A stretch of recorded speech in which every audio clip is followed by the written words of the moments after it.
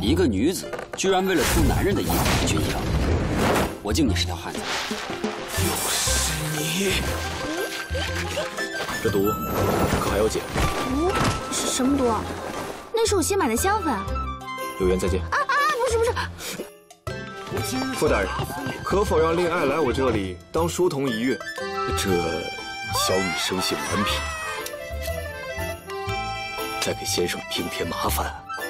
你说我从这儿回去会不会变得学富五车、才高八斗、博古通今、满腹经纶？嗯，嗯，算了，不难为你。嗯，这是什么？这么粗糙？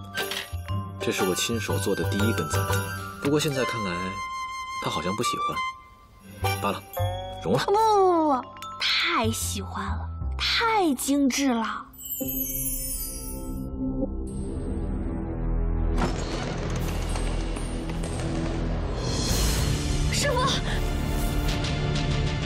我一定会抓到凶手。这是女儿家身上的抽丝，她那白衣服上似乎有血迹，难道真的是素王？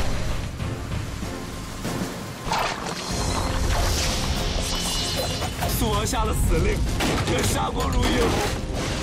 如意楼根本不是你想的那样十恶不赦，我现在是如意楼的新楼主。你是想本王抓你？悉听尊便。我们从此以后就是敌人。安王就是想要嫁祸给苏王，让你与苏王之间产生嫌隙。他为什么要这样呢？或许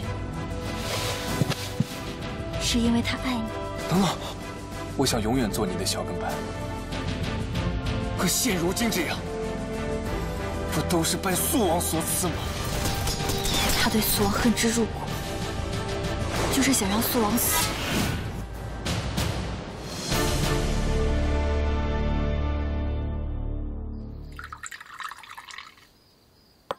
你灌醉我，想干嘛？当然是要做一些殿下清醒的时候我不敢做的事情。